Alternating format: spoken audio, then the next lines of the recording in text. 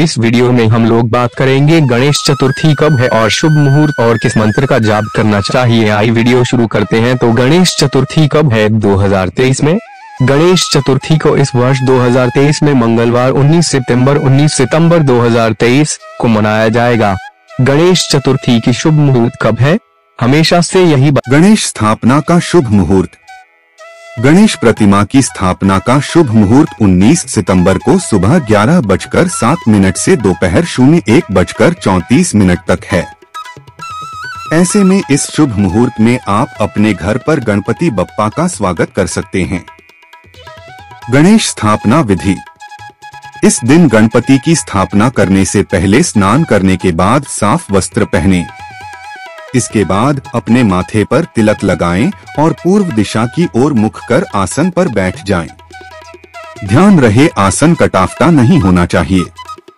इसके बाद गणेश जी की प्रतिमा को किसी लकड़ी के पटरे या गेहूँ, मूंग, ज्वार के ऊपर लाल वस्त्र बिछाकर स्थापित करें। गणपति की प्रतिमा के दाएँ बाएँ रिद्धि सिद्धि के प्रतीक स्वरूप एक एक सुपारी रखें। आप उसे के समय में करें। प्रातः काल पाँच बजे से लेकर सायकाल सात बजे के बीच में। इस मुहूर्त को सबसे बढ़िया माना गया है गणेश जी की पूजा करने के लिए। गणेश चतुर्थी के मुख्य मंत्र क्या है? गणेश चतुर्थी में गणेश जी की पूजा पूरे विधि विधान से करनी चाहिए और आरती सुबह शाम करनी चाहिए और इस मंत्र का उच्चारण करते रहना चाहिए। वक्रतुंड महाकाय सूर्य कोटि समप्रभ।